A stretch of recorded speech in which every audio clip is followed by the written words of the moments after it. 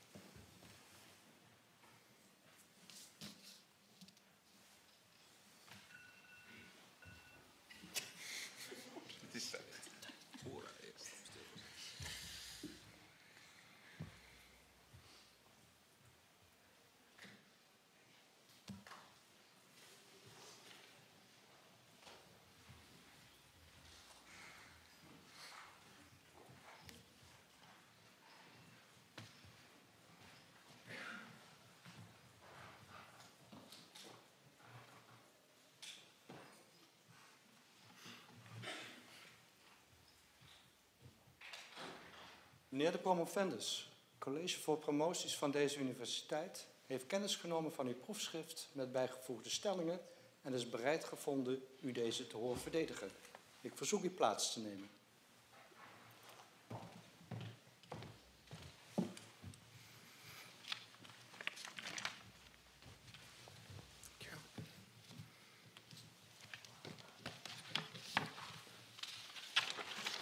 Wenst iemand uit het publiek met de promovendus van gedachten te wisselen?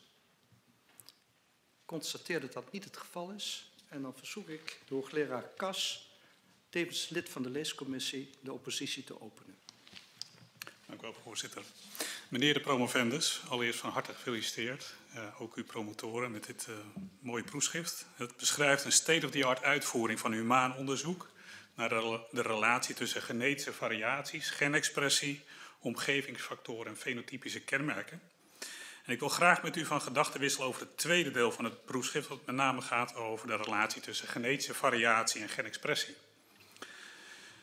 Uh, in hoofdstuk 4 op uh, pagina 49, figuur, figuur 2, laat u zien dat genexpressie-datasets afkomstig uit verschillende laboratoria voor een specifiek weefsel een homogeen patroon laten zien.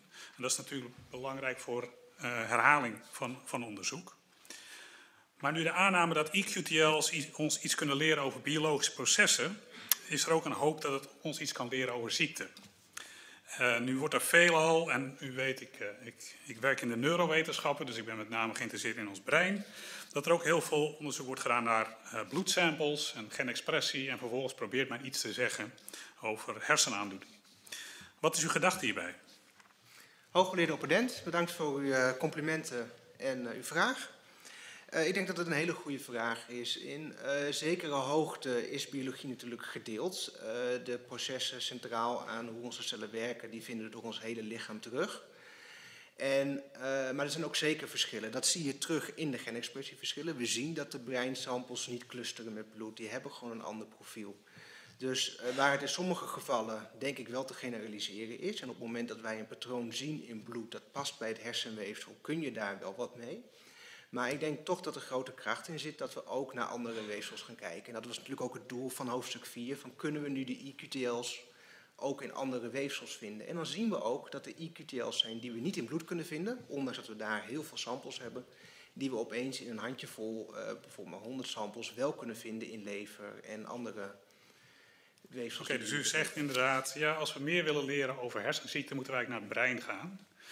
Nu weet ik dat als we inzoomen op het brein, dat daar natuurlijk miljarden cellen zijn.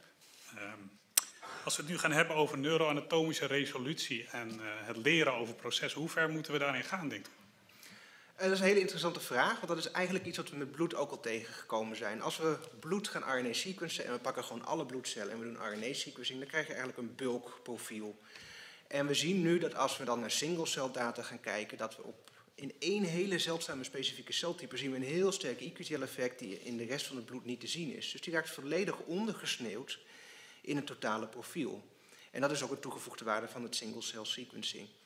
Ik denk dat bij brein er nog heel veel te halen valt door naar bulkdata te kijken, want daar is nog niet genoeg gedaan. Maar op termijn zullen we ook daar naar single cells toe moeten, zodat we echt naar de specifieke cellen kunnen kijken die zijn aangedaan bij de verschillende ziektes. Oké, dank u wel. Ga ik graag even naar hoofdstuk 8, waarin u het ontwikkelde GADO-systeem uh, uitlegt en ook een aantal voorbeelden geeft. En ik ben natuurlijk een beetje gaan spelen met het platform, uh, want dat nodigt enorm uit. Complimenten daarvoor. En ben gaan zoeken op HBO-terms autism en autistic behavior.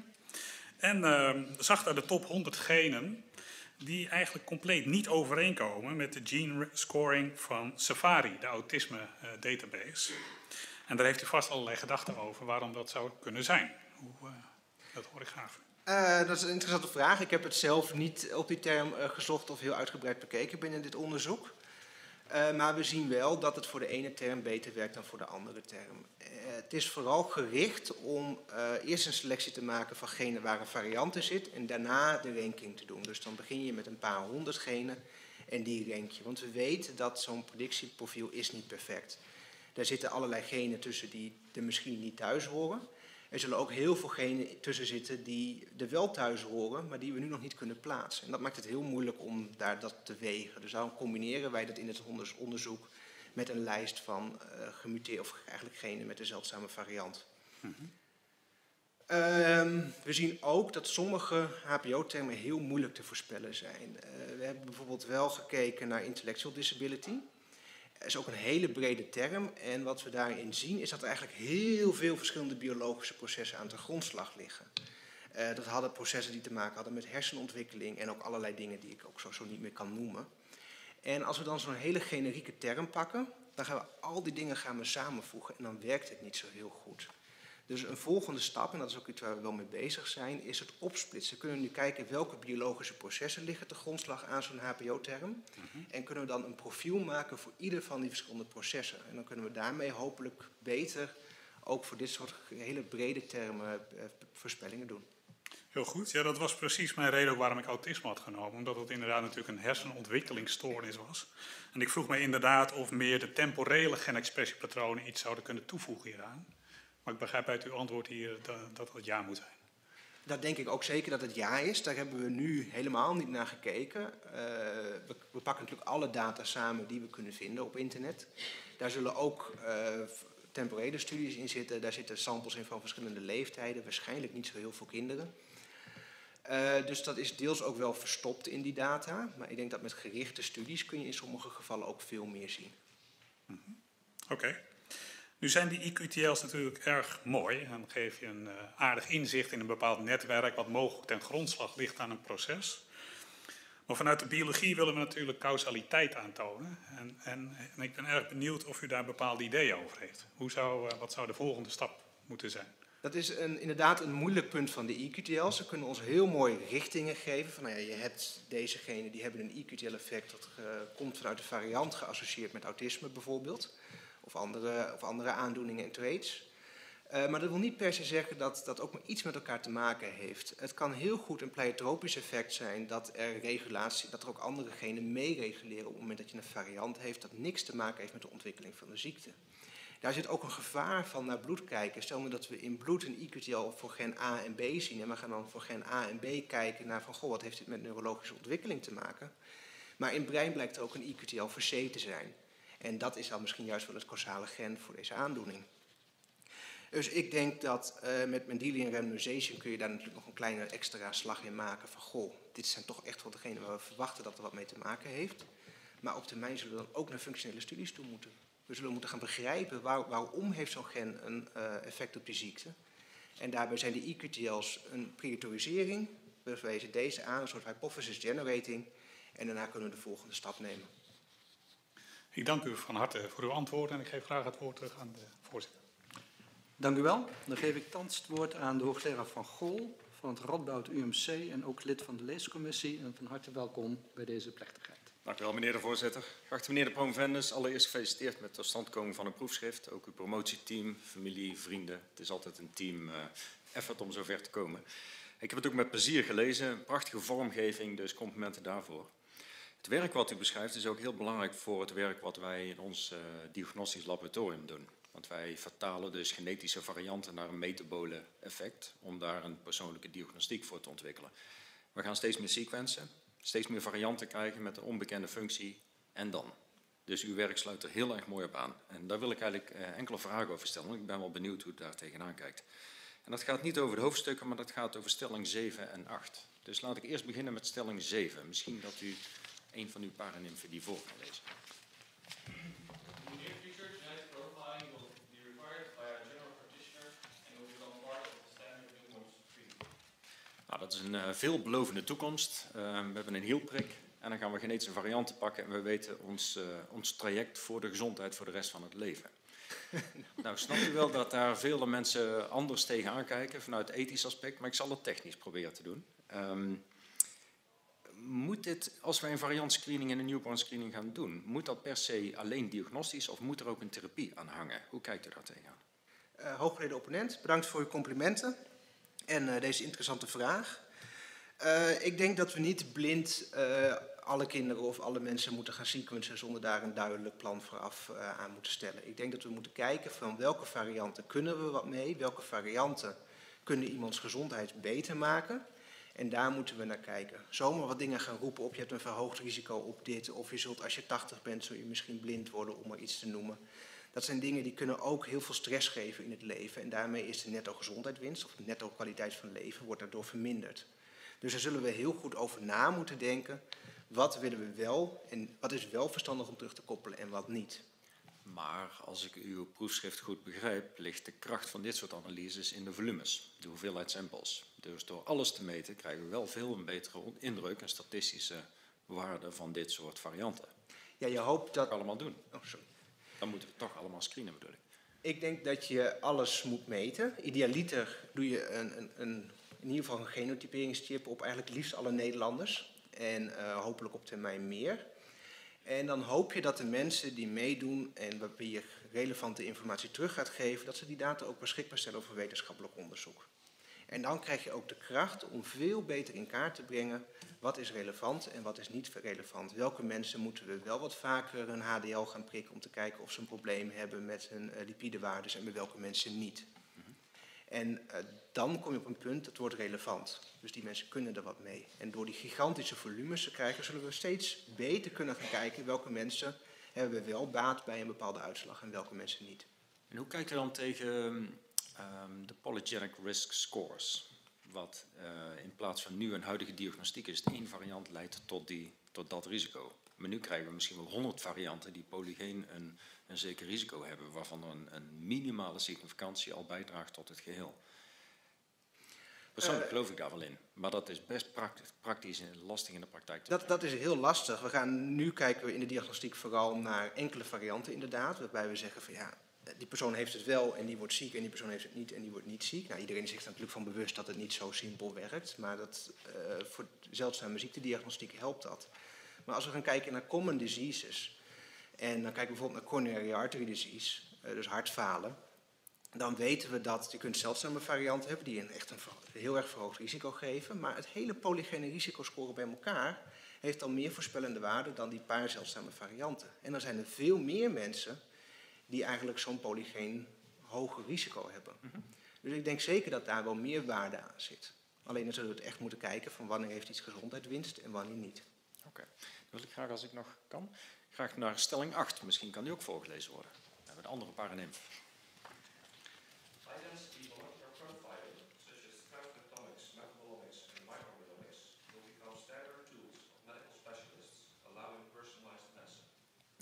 Prachtige toekomst natuurlijk. We gaan alle omics bij elkaar doen en dan hebben we het pad naar de personalized medicine. Nou, dat, als hoogleraar personalized healthcare is dit wel het pad waar we naartoe gaan. Maar hoe zouden we een medische specialist hiervan overtuigen? Zo, dat is een, uh, denk ik een hele moeilijke vraag. Die gaat ook uh, ver voorbij je technische natuurlijk, waar we hier naar gekeken hebben. Ik denk dat uh, je zal moeten laten zien dat dit toegevoegde waarde heeft voor een patiënt. Uh, wij hebben bijvoorbeeld ook medisch specialisten in uh, onze afdeling lopen. Die hebben gekeken, dan kunnen we microbioom bekijken om een verschil te kunnen maken tussen mensen met, die IBD hebben tussen ulcerative colitis en de ziekte van Crohn. En daar kun je dus ook laten zien van, goh, daar is wel of geen voorspellende waarde. En ik denk dat doordat we steeds meer kunnen met genetica, dat er een bepaald soort standaardzorg komt. Als mensen een borstkanker in de familie hebben en ze hebben een zeldzame variant in het BRCA-gen en we kennen die variant, dat zal veel meer routinewerk worden. En daardoor blijft er tijd over voor de complexe cases. Mensen van wie we niet snappen waarom de medicatie niet aanslaan. Mensen van wie we niet begrijpen waarom ze een bepaald fenotype hebben. En ik denk dat we daar dieper moeten gaan kijken. Dat daar een combinatie is van misschien wel meerdere rare variants of een raar polygeen eh, risicoprofiel en dingen die op elkaar inwerken. En dan door die mensen eigenlijk helemaal binnenste buiten te keren, kunnen we ook daar iets over gaan zeggen. Dat we daar begrijpen wat er aan de hand is. Binnenste Dat is het idee erachter. Ehm, ik dacht wel dat u die kant op zou gaan. Wat ik wel verbazingwekkend vind, is dat u proteomics niet noemt. Terwijl u waarschijnlijk weet dat in een klinische laboratoria de meest gevraagde testen door een medisch specialist een eiwittest is. Eiwitten die worden gemodificeerd. Als ik dat bruggetje mag slaan op post-translationele modificaties. Een grote oorzaak voor het effect van medicijnen, het gedrag, uh, ziekteoorzaak enzovoorts. En die pakt u niet met uw genetische score. Dus mijn vraag is eigenlijk in deze stelling 8. Hoe wilt u nou een stabiele genetische variant koppelen aan een heel dynamische variatie van een eiwit.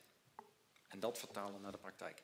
En ik ga een kort antwoord dan. Ja, maar... oh, dat is om het makkelijk te maken. um, Ja, ik heb hier in de stelling natuurlijk een paar voorbeelden genoemd. Ik denk dat het zeker proteomics en alles wat er nog met een eiwit gebeurt, dat het heel belangrijk is. Maar ik denk dat de dingen die met een eiwit gebeuren, die zullen ook deels beschreven worden door de expressieprofielen, door de andere, eh, andere profielen die je kan meten bij een persoon. Want dat is toch een omgeving die bestaat en een omgeving die je kan meten. En dat is ook, bepaalde dingen zul je ook zeker rechtstreeks moeten meten, die kun je niet zomaar negeren. Dat ben ik zeker met u eens. Oké, prima. Dank u wel. En ik geef graag het woord terug. Dank u wel. Dan geef ik thans het woord aan de hoogleraar Schuringa. Dank u wel, eh, meneer de voorzitter. Uh, Achte promovendus, uh, ook mijn felicitaties. Ik heb met ontzettend veel interesse uw proefschrift mogen lezen. Het is natuurlijk zware kost voor een eenvoudige stamcelbioloog als ik, maar ik weet zeker dat ik vandaag veel van u kan opsteken. net zoals dat ik dat ook heb kunnen doen tijdens uw masterstage, een van uw masterstages die, die, u bij ons in het lab heeft gelopen. Dat was bijzonder leuke tijden, vond ik. En ik heb daar veel, uh, veel geleerd. Um, en zoals u weet zijn we in mijn lab geïnteresseerd in uh, hematopoëtische stamcellen. EQTL's in het bloed. Um, en gelukkig gaat hoofdstuk 7 precies daarover. Dus het zal u niet verbazen dat ik daar met u van gedachten over zou willen wisselen. Um, en het eerste wat ik mij afvroeg toen ik hoofdstuk 7 opensloeg, dat was hoe zou dat cohort van patiënten van zo'n 2000 of patiënten van individuen er nou eigenlijk uitzien qua leeftijdsopbouw? Um, nou, daar moest ik even voor zoeken, maar in supplementary uh, figuur 7 zien we daar wel wat informatie. En inderdaad, het lijkt erop dat u ook vrij veel wat ouderen uh, in dat cohort hebt zitten. En dat vind ik denk ik heel interessant, want in ons veld zijn er twee aspecten, twee fenomenen die redelijk goed beschreven zijn, maar niet goed begrepen. en het eerste is dat um, je van een eh, gebalanceerde myelopoëse lymfopoëse met veroudering steeds meer naar een, een, een, een, een, myelopoëtisch uh, hematopoëtisch systeem gaat. En we begrijpen eigenlijk niet zo goed hoe dat werkt. En het tweede, misschien nog interessanter, dat is het fenomeen CHIP. Misschien kent u dat. Klonale hematopoëse with indeterminate potential. Gedreven door mutaties in bijvoorbeeld DNMT3 of TET2. Dus echt epigenetische factoren die wellicht ook een impact hebben op het, op het genexpressieprofiel.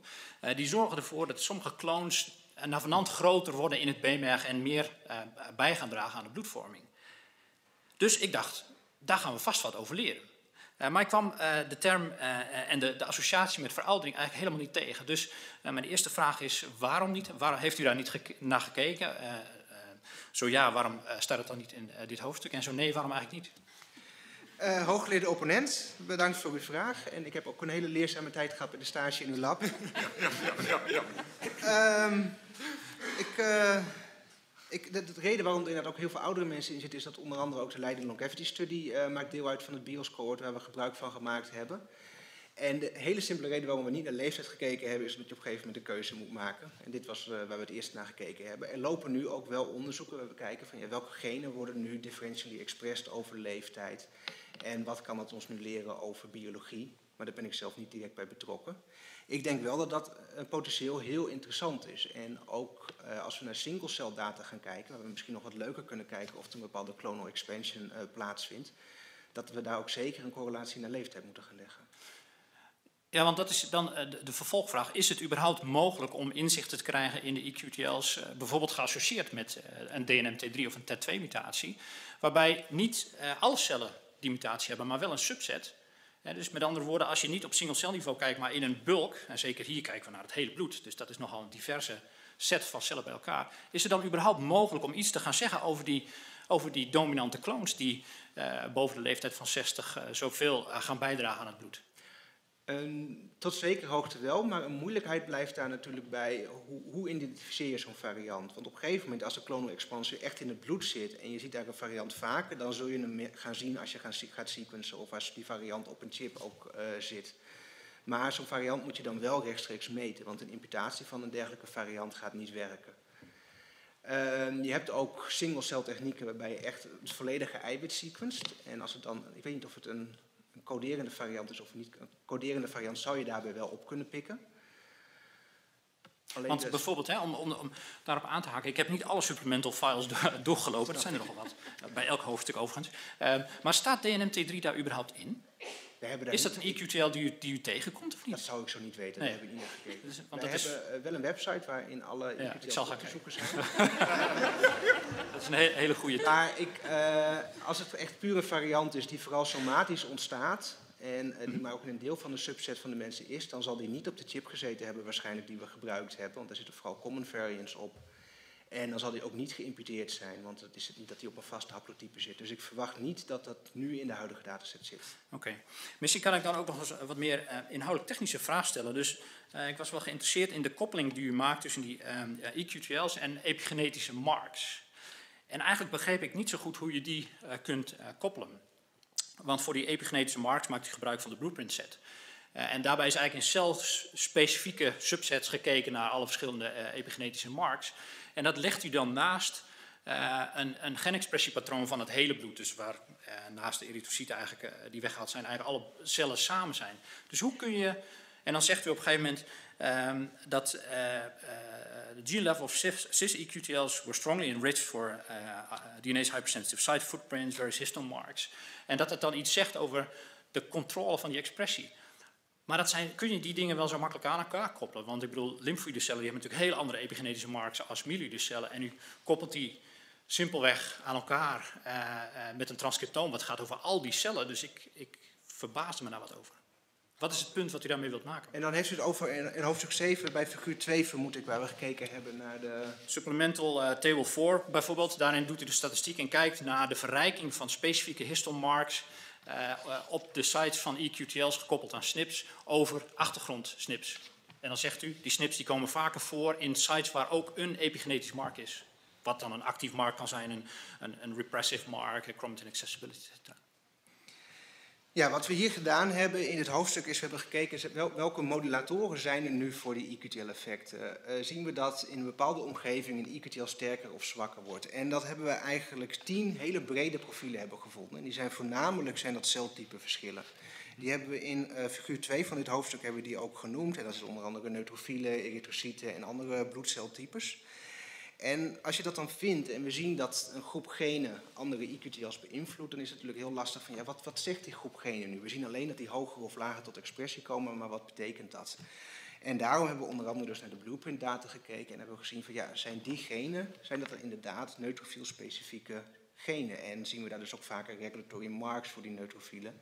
Ja. En is dat dus eigenlijk een soort secundair bewijs dat dit, die module die we vinden, dat het echt neutrofiel specifieke Maar misschien zou het dan sterker zijn om ook dat te koppelen aan de transcriptoom van de celtype specifieke cellen die het dan betreft, waar ook de epigenetische markt vandaan komt. Ja, alleen dan hebben we wel meerdere cellen of meerdere individuen nodig of Zeker, voor replicaties. En dat zit helaas nog niet in de blueprint data. Nee, precies, dat is uh, correct. Ik uh, geef het woord uh, graag terug aan de rector. Dank u. Dank u wel. Dan stand het woord aan de hoogleraar Hoen van de Radboud UMC. Van harte welkom. Meneer de promovendus, eh, voordat ik u een aantal vragen ga stellen, wil ik u ook graag complimenteren met het gereedkomen van uw proefschrift. Uh, in onze samenwerking, en dat was met name aan hoofdstuk 7, heb ik u leren kennen als een kritisch, zorgvuldig onderzoeker. En dat zie ik ook terug in het proefschrift. Het proefschrift is gedetailleerd en tegelijkertijd geeft u ook duidelijk de limitaties van uw aanpak aan. En u overtuigt ons ook dat het aanpak zoals u die voor ons voorstelt de toekomst heeft bij de ontwikkeling van personalized healthcare. Mijn vragen um, richten zich op het uh, thema van weefselspecificiteit. Het gaat eigenlijk een beetje verder op de oppositie die door collega Kast is gevoerd. Um, in eerste instantie over hoofdstuk 8. Uh, u volgt daarin uw, een van uw promotoren, professor Frank, om er zoveel mogelijk data de hand te kunnen leggen om daar iets mee te doen en goede voorspellingen uit te halen. En ehm, mijn vraag is eigenlijk, ehm, ja, bepaalde eh RNA-ziekprofielen zullen beter eh, helpen in de voorspelling dan andere. Dus ik vraag me af of HeLa-cellen en HEC293-cellen heel erg veel bijdragen uiteindelijk aan de voorspellingen die u doet. En tegelijkertijd vraag ik me dan af, als ik bijvoorbeeld eh, geïnteresseerd ben in een retina-specifiek ziekte, ehm, hoe, hoe goed zijn de voorspellingen dan? Dus met andere woorden, kunt u een link leggen tussen de principale componenten en de HPO-terms en welke combinaties in feite het beste werken? Eh, Hooggeleerde opponent, eh, bedankt voor uw lovende woorden. En uw interessante vraag. Eh, ehm, eigenlijk bestaat het uit twee delen. Aan de ene kant vraagt u zich af wat is de toegevoegde waarde van alle cellijnen die we eigenlijk aanwezig hebben in het experiment. En aan de andere kant, ja, wat, wat zegt het nu over één specifiek weefsel? Over de pathways die echt heel specifiek tot een bepaald weefsel zijn. Eh allereerst de cellijnen, als dat inderdaad allemaal technische replicaten zouden zijn, dan ga je op een gegeven moment afvragen wat is er nu de toegevoegde waarde van, want je meet iedere keer hetzelfde. Alleen het interessante van die cellijnen is, die worden ook heel veel gebruikt voor allerlei stimulantie- stimulaties en perturbaties. En doordat dat die of nu in onze grote dataset zit, zit de informatie van zo'n perturbatie is dus ook aanwezig. En daarmee denk ik ook dat er ook die cellijnen zeker informatie toevoegen. Want het zegt iets over hoe reageert een cel op allerlei prikkelingen. Eh, de tweede vraag, eh, ja, wat zegt het? Sorry dat ik u onder- even onderbreek. Maar u, u- u heeft een gedachte geformuleerd, maar heeft u het ook getest? Zeg maar, of eh, die mogelijke perturbaties gelinkt kunnen worden aan de voorspelling van bepaalde fenotypes. Nee, we hebben niet één op één getest of zo'n perturbatie die voorkomt in, in die publieke data, wat voor effect dat heeft. We hebben alleen gezien dat ja, hoe meer data we toevoegen, des te beter onze predicties worden van allerlei pathways. En, En u heeft En niet geprobeerd om selectief bijvoorbeeld de HEC 293-cellen eruit te gooien en te kijken wat er met de predictie gebeurt. nee. Dus dat, dat, dat zou een interessante vraag kunnen zijn. Eh, maar in, in generaliteit zien we dat hoe meer data, hoe beter onze predicties zijn. Duidelijk. En u had nog een tweede gedeelte van uw antwoord waarmee ik u onderbrak. Ja, en dan ging we eigenlijk een beetje de vraag, ja, wat zegt het nu over een pathway dat heel specifiek aan- aanwezig is binnen één, één celtype? Kijk, als het echt alleen maar aanwezig is binnen bijvoorbeeld een spierweefsel, dan, dan kun je afvragen van ja, wat is nu de toegevoegde waarde van al die andere dingen en voegt dat niet alleen maar ruis toe? Eh, dat is denk ik ook, wel een terecht punt en ook wel iets waar we over aan het nadenken zijn van ja, kunnen we nu ook een netwerk maken op basis van één specifiek weefsel? Dat zijn we nu ook aan het doen met breinweefsel. En ik kan me ook voorstellen dat het goed is om eigenlijk pathways te maken voor ieder weefsel dat er mogelijk is. En dan kijken van ja, welke dingen zijn nu specifiek voor een, voor een bepaald weefsel, welke dingen zijn generiek. En wat is nu de beste manier om die voorspellingen samen te voegen aan één grote pathway eh. Want ik denk dat daar wel wat te doen is. Ja, vandaar dat eh, u ook bezig bent met een single cel. Daar heeft u al honderdduizenden profielen van alleen brein. Dus eh, daar kunt u vast mooie dingen mee doen. Ehm, als ik nog tijd heb, ehm, wil ik even wat specifieker ingaan op het voorbeeld dat u laat zien op pagina 152. En daar doet u best wel iets opmerkelijks. U heeft een opmerkelijke pres- ehm, presentatie eigenlijk voor Kleefstra-syndroom daar. Eh, u heeft vier HPO-termen die eigenlijk maar heel erg weinig beschrijven over Kleefstra-syndroom. En toch kunt u daar een, een, een, best wel goede voorspelling aan doen. Het, het eh, verantwoordelijke gen komt op eh, positie 2. Maar heeft u nu ook gekeken naar het gen op positie 1 en in het algemeen, zeg maar afgezien van dit voorbeeld, naar, gekeken naar bepaalde genen die op positie 1 komen onterecht? En of u daar lessen uit kunt trekken? Eh, de moeilijkheid daarbij is, we weten niet of dat onterecht is. Het kan heel goed zijn dat dit gen wel degelijk betrokken is bij de biologie relevant voor Kleefstra-syndroom. En dat het daarbij eigenlijk heel logisch is dat eh, zo'n gen op zo'n eerste positie staat. En het hoeft dus niet per se te zijn dat het in dit geval causaal is voor die patiënt, maar dat het dus wel iets is wat relevante biologie beschrijft.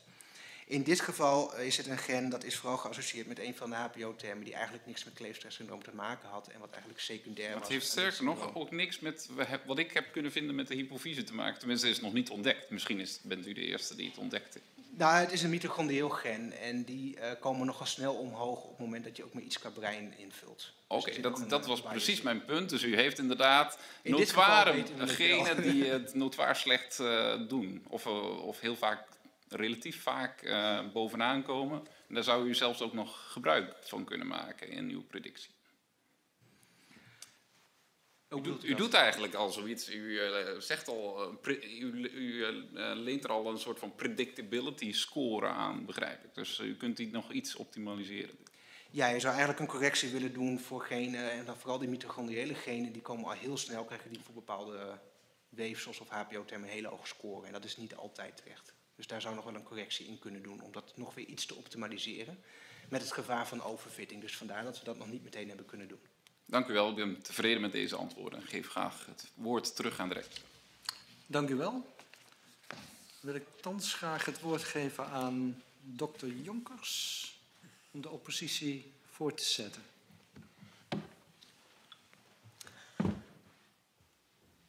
Geachte kandidaat, uh, heel erg gefeliciteerd met uw proefschrift. Uh, ook uh, de promotoren wil ik graag daarbij feliciteren. Ik vond het fantastisch om te lezen.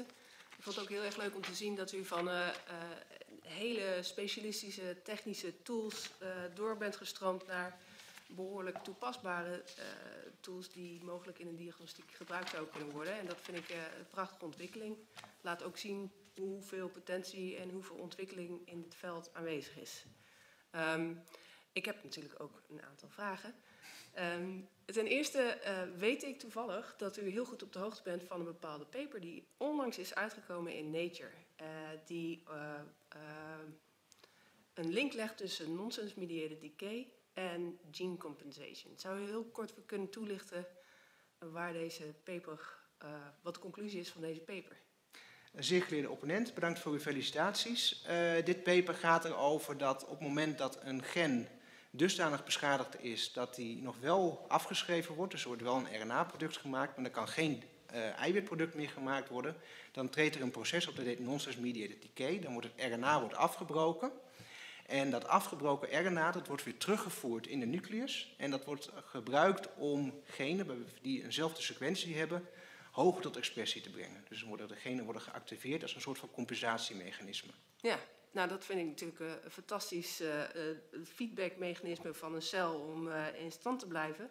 Maar dat heeft ook wel mogelijk verstrekkende gevolgen voor Mendelian diseases die door één gen bijvoorbeeld veroorzaakt worden. hoe ziet u dat? Denkt u dat het terechte ehm, zorg is? Uh, nou, ik denk dat dat een, een, heel goed mechanisme kan zijn voor een soort digenic inheritance. Waarbij uh, sommige mensen op het moment dat ze zo'n nonsense mutatie hebben die, do, die tot die leidt, dan is er een compensatiemechanisme aanwezig. Dus deze zullen wel een nonsense allele hebben, maar die zullen niet ziek worden. Andere mensen zullen misschien een tweede variant hebben in zo'n compensatiegen, waardoor ze bij, met dezelfde variant wel ziek. En dat maakt uh, natuurlijk onze genetische diagnostiek een heel stuk complexer. Ja. Zouden er mogelijkheden zijn om daarvoor te testen? Uh, poeh, ik kan me voorstellen dat je kan kijken naar sequence similarity en welke genen zijn potentieel uh, compenserende genen. Dus ik denk dat je daar wel een voorspelling van kan maken welke genen een compensatie-effect kunnen hebben. En dan zou je eventueel dat ook als een soort van prior kunnen gebruiken om te kijken of er varianten zijn die een modifying werking hebben op een uh, zeldzame ziekte. Ja, u, u, heeft ook een heel hoofdstuk, nou niet een heel hoofdstuk, maar een, een hoofdstuk over allele-specific expressieanalyse. Zou dat een mogelijke tool zijn om da daar naar te kijken? Uh, allele-specific expressieanalyse laat wel de nonsense-mediated decay zien. En dat is ook iets wat we in, dit, uh, in dat hoofdstuk 4 hebben laten zien. Maar dat uh, is niet meteen een voorspelling voor degene die dan ook geactiveerd worden als een soort van compensatie. Want daar verwacht je wel dat de expressie in balans is. Tenzij daar weer een variant is die voorkomt dat zo'n terugkoppelings-RNA-feedback minder goed kan binden. En dan verwacht je wel weer een ASE-effect te zien, wat een effect is van je primaire nonsensmutatie. Dus een soort trans-ASE-effect als het ware. Ja. Denkt u dat het interessant is om daar verder onderzoek naar te doen? Of, of denkt u dat het een marginaal effect is wat weinig toe voegen op, uh, in the grand scheme of things, zullen we zeggen? Heel erg speculatief. Uh, dat is natuurlijk van tevoren heel moeilijk te zeggen. Ik, ik durf niet te zeggen hoe vaak uh, dat een, modifying effect heeft op iemands gezondheid. Dus dat is dus een beetje, een beetje een gok, maar ik zou verwachten dat daar wel relevantie is om echt te begrijpen hoe werkt nu een cel. En ik denk alleen om die reden is het al interessant om hier verder naar te kijken. En dan kunnen we aan de hand daarvan ook gaan kijken van ja, wat is nu de toegevoegde waarde voor de genetische diagnostiek. Ja, oké, okay, dank wel. Um, ik had ook nog een, een, een vraag naar aanleiding van uh, het hoofdstuk 5, uh, uh, waar u een hele mooie cytokine, een link legt tussen genetische expressie en uh, cytokine-secretie en ook dat, dat die link niet altijd even makkelijk is. Dat er bijvoorbeeld een gen geprioritiseerd wordt, goal M1, wat er significant toe bijdraagt dat er, ja, dat de IL-6 cytokine pathway wordt aangetast. Uh, u heeft daar ook een heel mooi co-expressienetwerk uh, van Goal M1 met een hele hoop andere genen die uh, daarbij tot co-expressie komen nadat je die cellen stimuleert met een bepaald iets. En ik dacht, nou dat is hartstikke leuk, dit moet je ook in het G-network kunnen vinden.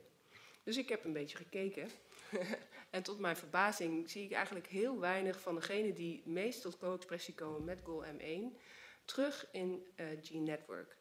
Uh, en ik vroeg me af, uh, hoe denkt u dat dit mogelijk is? Uh, mijn eerste reactie zou zijn, dan lijkt het erop dat dit is natuurlijk een co-expressie na stimulatie en dat, dat die stimulatie eigenlijk niet goed gerepresenteerd is binnen ons huidige gene-netwerk. Ja. En dat het toch laat zien dat we meer data nodig hebben waarbij we ook echt stimulaties toevoegen, zodat we dit soort dingen ook kunnen gaan prioriseren in ja. een grote, op een grote schaal. En hoe denkt u dat dit van invloed is op bijvoorbeeld uh, bepaalde ziektebeelden? Zou u een voorbeeld kunnen geven van een ziektebeeld waarbij dit echt wel een rol zou kunnen spelen? Ik denk dat er heel veel ziektebeelden waarbij dit relevant uh, zal zijn. We weten van de complexe ziektes dat maar eigenlijk een deel van de. Ja, dat het verklaard wordt door genetische variatie. Dus er is ook een heel erg belangrijk omgevingscomponent dat bepaalt of je op basis van je genetische achtergrond wel of niet ziek zal worden. En uh, nu kunnen we dat dus eigenlijk maar beperkt naar kijken, want we weten niet zo goed van wat is nu de interactie tussen die omgeving en die genetische variatie. Dus dat is ook waarom we in hoofdstuk 5 en hoofdstuk 7 proberen dat wat beter in kaart te brengen, zodat we uiteindelijk beter kunnen snappen waarom worden die mensen nu uiteindelijk ziek. Wat zorgt er nu voor dat uh, zo'n omgeving iemand ziek maakt en waarom zijn sommige mensen daartegen beschermd? En een veel interessantere volgende stap zou zijn van ja, hoe kunnen we dan nu iemand met zo'n genetisch slechte achtergrond voor een bepaalde ziekte, kunnen we die dan beschermen voor die eh, omgevingsfactoren. Niet per se door ze in een glazen stolp te stoppen, maar wel van ja, kun je er nu voor voorkomen dat er eigenlijk een overreactie is op een omgevingsstimulans. Ja. En voor mensen die bijvoorbeeld bij uh, de kliniek binnenkomen met een inflammatoire of een immuunachtige aandoening, Denkt u dan dat, dat uh, Gene Network en GADO een, uh, een goede tool zullen zijn om te prioritiseren welke genen uh, betrokken zijn bij die aandoeningen? Of denkt u dat het lastig is? Een hele, hele terechte vraag.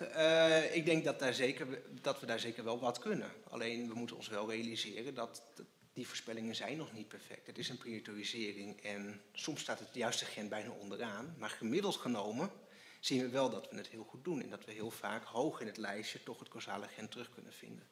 Dus ik denk zeker dat we GADO kunnen gaan gebruiken om ook naar uh, primary immuundeficiënties te gaan kijken. Of andere immuunaandoeningen. Maar dat, dat, dat heeft zijn beperkingen. Uh, mag ik nog één vraagje? Kort vraag. Um, een van de hypothesen natuurlijk bij immuunaandoeningen uh, is dat het niet zozeer een monogenic disease is, waarbij één gen alle klachten en alle uh, fenotypes veroorzaakt, maar dat het een set van meerdere genen is, uh, waarvan we niet helemaal weten wat de relatieve penetrantie is, uh, die ervoor zorgen dat iemand uh, zieker wordt. denkt u dat uw tool in staat zal zijn om niet zozeer één gen, maar meerdere genen die allemaal aangedaan zouden kunnen zijn, te ontdekken en te prioritiseren? Uh, te prioriseren wel, alleen de moeilijkheid ligt hem daarna in hoe ga je bewijzen dat die combinatie van zeldzame varianten die misschien wel hoog in het lijstje staan, daadwerkelijk causaal zijn voor die ziekte. Want daar heb je simpelweg de statistische power niet voor op het moment. Ja. Dus ik denk dat het aantonen van digenic of uh, polygenic inheritance, dus dat je echt meerdere genen hebt die belangrijk zijn voor een ziekte, dat dat nog een hele grote uitdaging gaat worden. Want de polygene risico's, ja, die kunnen we met de G-wassers aanwijzen. Dus daar kunnen we iets over zeggen, ook op een individueel niveau. Die hele zeldzame varianten met een heel sterk effect, dat ze eigenlijk bijna 100% penetrant zijn, ja, die kunnen we ook wel aanwijzen. Maar dat hele spectrum daartussenin, dat, dat zal nog best een uitdaging worden. Ja. Dank u wel voor uw antwoorden. Dank u wel. Dan geef ik thans het woord aan de hoogleraar Knoers. Dank u wel, meneer rector. Geachte promovendus, ik sluit me graag aan bij uh, alle complimenten over uw boekje. Prachtige inhoud, maar ook heel mooi vormgegeven. Heel groot plezier om te lezen en ik wil graag uh, uw begeleidend team daarin betrekken. U heeft misschien gezien dat ik er afgelopen zaterdag al over getwitterd heb en u bent al uitgebreid door de wereld gefeliciteerd. En eh, zelfs mijn overbuurman die in de plantenveredeling zit, eh, heeft eh, zijn achterban hierover geretweet. Dus het is de wereld door in alle soorten en species, zelfs de planten. Ehm, ik wil nog ook heel, heel, even ingaan op uw GADO-tool. Er is al veel over gezegd. En met u even gewoon het experiment van de praktijk doornemen. Ehm, wat wij veel zien zijn natuurlijk kinderen met aangeboren afwijkingen die we direct na de geboorte vaststellen. En ik wil u een voorbeeld eh, stellen van een kind wat geboren wordt met een polydactylie. Dat wil zeggen dat hij zes eh, vingers heeft en zes stenen in plaats van de, de vijf. En eh, nou weten wij dat dat eh, veelal ook een geïsoleerde aandoening kan zijn. En eh, dan eh, heb je de polydactylie en verder niet. Maar we weten ook, en dat is natuurlijk het bijzondere wat we dan eigenlijk zouden willen kunnen voorspellen, dat het vaak onderdeel uitmaakt van een syndroom waarbij ook verstandelijke handicap gaat komen, waarbij die kinderen blind worden, ernstige nierafwijkingen krijgen, eh, het zogenaamde Bardet-Biedl-syndroom. En wat ik nou zou, fijn zou vinden, is dat als ik die kinderen direct na de geboorte zie en de ouders aan mij vragen wat is de toekomst van uw kind, dat mijn GADO-tool u daarbij gaat mij daarbij gaat helpen. Wat is het antwoord daarop? Eh hoogleden opponent, eh, u ook bedankt voor uw eh, complimenten. Eh GADO-tool die gaat een, is een assistentietool bij de diagnostiek. Dus in eerste instantie verwacht ik dat jullie op het moment dat je dit gebeurt, dat je daarbij wel een whole exome sequencing gaat doen, of misschien eerst een RE gaat doen om te kijken voor grote structurele afwijkingen. Maar op het moment dat je bij de exome sequencing uitkomt, dan ga je een lijst met genen vinden. Nou, bij de, een deel van die varianten, of, van die patiënten zul je redelijk snel een diagnose kunnen stellen, want dan vind je een, gen in een, bekend, of een variant in een bekend gen en dan kun je daar redelijk, relatief eenvoudig kun je dat aftikken. En bij een deel van deze patiënten zul je daar nog geen antwoord op kunnen geven, want het is simpelweg niet een, variant die we zien in een bekend gen. Nou, dan kun je ervoor kiezen om verder te kijken, om ook die ouders hopelijk wat meer antwoorden te geven. En dan denk ik dat GADO zeker kan helpen. Dan eh, zou je Maar dus... mag ik u even onderbreken? Want, want eh, ja, dat, dat zegt u nu zo wel. Maar wat me dan opvalt in uw lijstje wat u laat zien, op bladzijde 151, dan gaat het toch voor een groot. Het succes is dan grotendeels toch gaat het over patiënten met een cardiomyopathie of patiënten met een verstandelijke handicap. Ehm, maar ik zie daar die syndromale patiënten helemaal niet tussen. Is dat dan omdat u daar simpelweg nog niet naar gekeken hebt? Of is het succes misschien daar toch wat minder groot? Ik kan op basis van die 61 eh, ongediagnosticeerde patiënten absoluut niks zeggen over waar we wel of niet verwachten dat er heel veel, eh, wat, waar, waar onze succesrate zal liggen.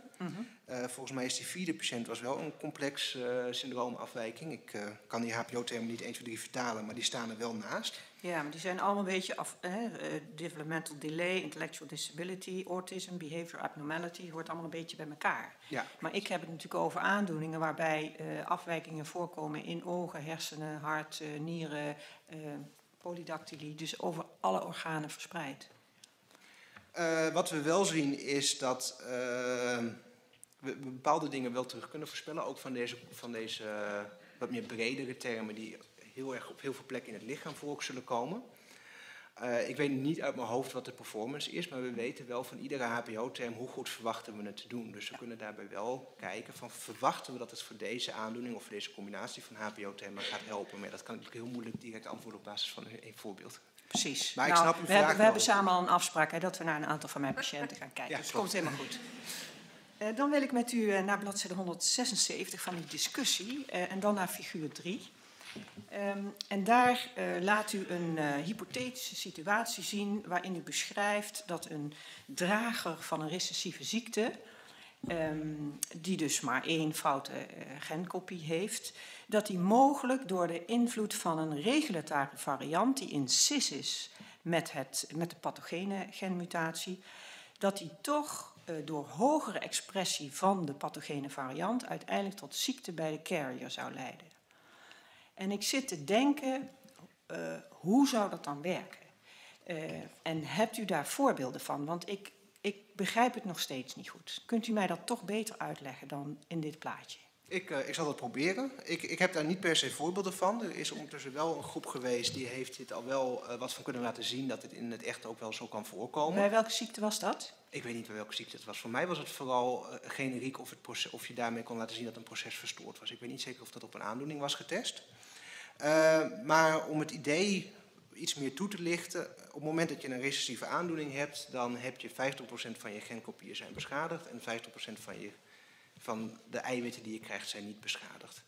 Nou, afhankelijk van wat voor proces dat is, is dat misschien wel genoeg. Misschien kun je prima gezond zijn met maar 50% eiwitten. Misschien zit er ook nog wel een feedback loop in, zodat net zoals met nonsense mediated case, dat het toch ook de totale expressie van goede eiwitten hoog genoeg is. Want daar zit natuurlijk ook nog heel veel regulatie in. Maar ik kan me ook voorstellen dat als er een regulatoire variant is, dat misschien wel 90% van je eiwitten die beschadiging hebben. En met 10% van de eiwitten, die zijn wel functioneel. En dan zie je dat de metabole rate van een bepaald, van een bepaald proces misschien wel lager gaat worden. Maar verwacht u dan een dominant, dominant negatief effect op, het, op, het, op de goede genkopie? Is dat dan wat u nou, ik, verwacht? ik bedoel dus eigenlijk dat er een tweede variant is, waardoor het eigenlijk nog steeds een, het is wel een recessieve aandoening. Mhm. Alleen die tweede variant, en dat kan misschien zelfs wel op hetzelfde haplotype zijn, die zorgt ervoor dat dat recessieve allel, dat het, zo, dat het eigenlijk dominant geworden is als het ware. Dus dat die combinatie van die twee varianten een dominant Maar effect geeft. dan zou het moeten betekenen dat we in de praktijk dus dat soort type carriers zouden zien. We zien nu, de, mag ik nog antwoord geven? Heel kort. We zien nu voor heel veel patiënten dat we nog geen diagnose kunnen stellen. We zien heel vaak eh, een gen waarvan we verwachten dat het belangrijk is dat we geen tweede allel vinden. En ik denk dat deel van die varianten verklaard zal worden omdat dat een regulatoire variant is. Hm, interessante gedachte. Dank u wel. Ik, eh, ik geef het woord terug aan de rector.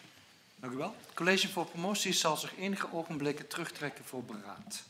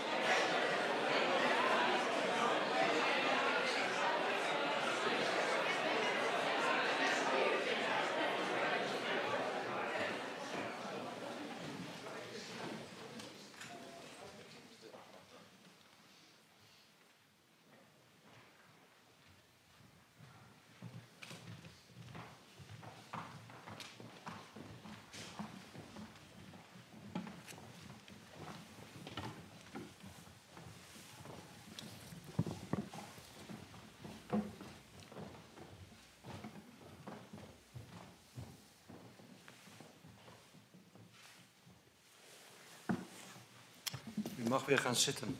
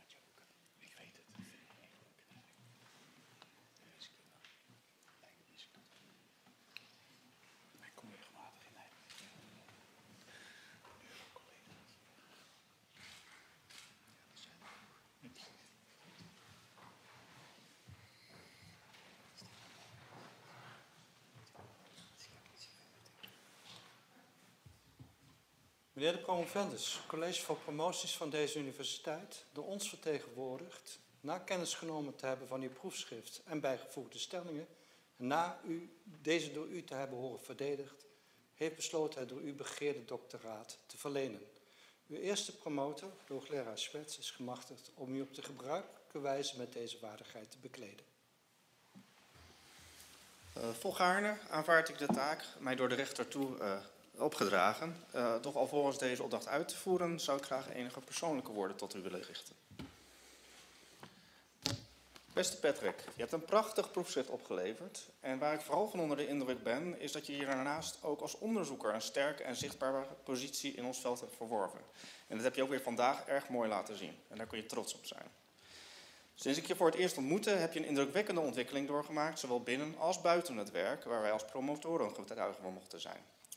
Want onze kennismaking was al ruim voordat je je promotie begon. Want ergens in mei 2009 kwam je binnen als HBO-stagiair samen met Freerke Mark-Jan, als ik het goed heb, en begon je een stage bij Ying na de zomer. En daar kreeg ik niet veel van mee, maar daarna ging je voor je master studeren in Amsterdam.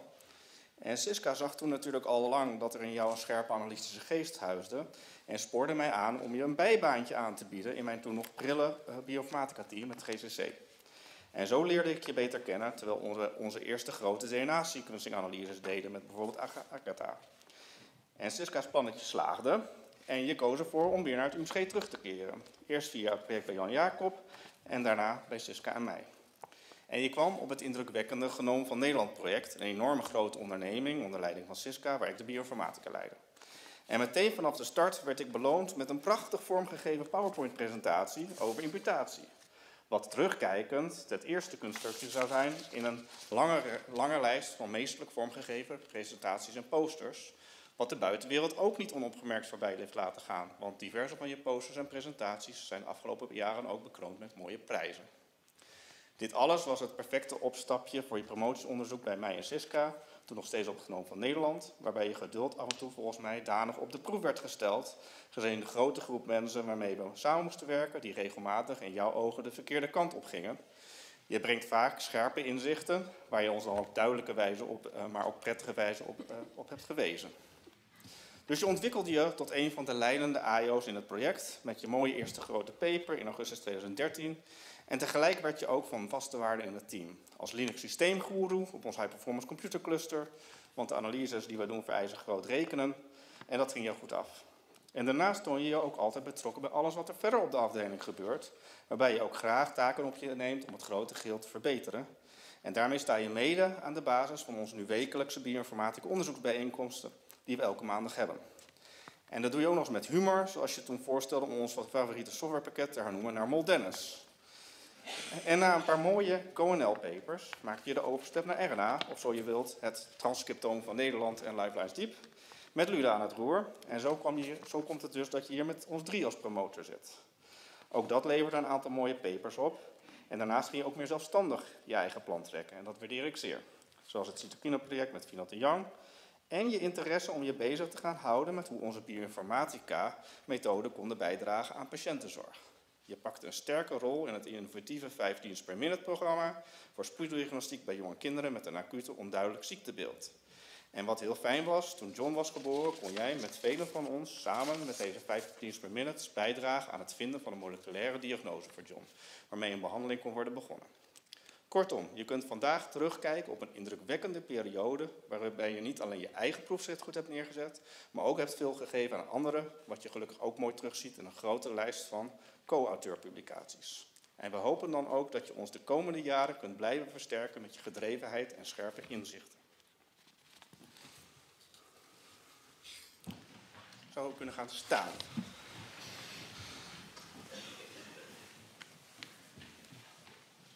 Uit kracht van de bevoegdheid, ons bij de wet toegekend volgens het besluit van de College voor Promoties van deze universiteit, verklaar ik, Morris Swerts, u, Patrick Delen, te bevorderen tot dokter en u alle rechten te verlenen die door de wet of gewoonte aan het doctoraat aan de Rijksuniversiteit Groningen zijn verbonden. Belooft u als dokter in de toekomst te handelen naar de Nederlandse gedragscode wetenschapsbeoefening? Dat beloof ik. U kunt weer gaan zitten. Nadat ik de alzo de mij opgelegde taak heb volbracht, mag ik de eerste zijn die u met deze promotie gelukwenst en als dokter begroet.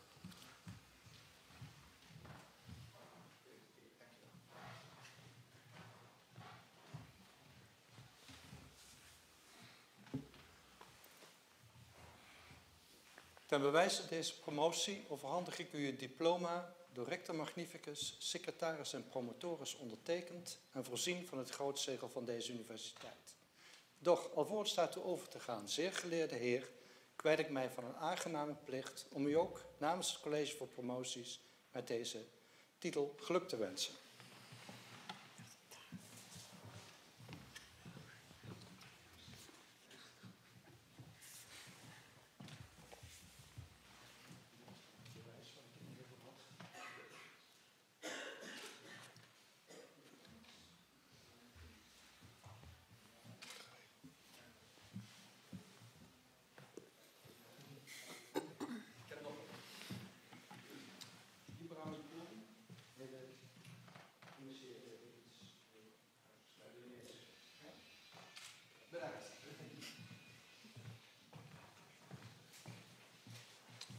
En hiermee beëindigt deze belachelijkheid.